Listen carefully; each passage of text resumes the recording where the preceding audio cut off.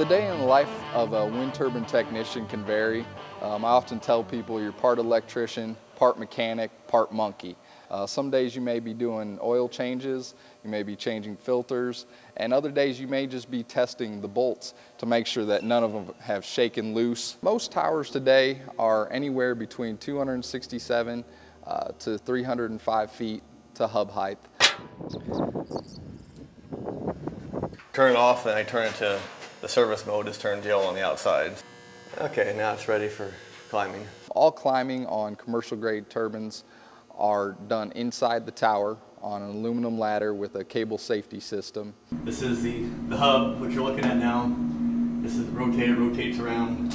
Basically inside there's each, each blade has its own control panel, blade one, two, and three. Technicians have to have a great mechanical aptitude. They have to understand electricity at its base form. The training programs that people need to look for when going into this field are programs that give them a, a two-year associate's degree. They need to master uh, programmable controllers, digital electronics, um, hydraulics, pneumatics, and uh, basic maintenance classes, as well as uh, technical writing and communication skills. For the uh, wind training technician program here at DAC, they're required to complete a 240-hour uh, internship on site. This often uh, allows them the opportunity to prove themselves to a company that after they get their degree can move right into a job. Uh, most companies will even make that job offer towards the end of the internship so that they have something to work towards uh, during their class time.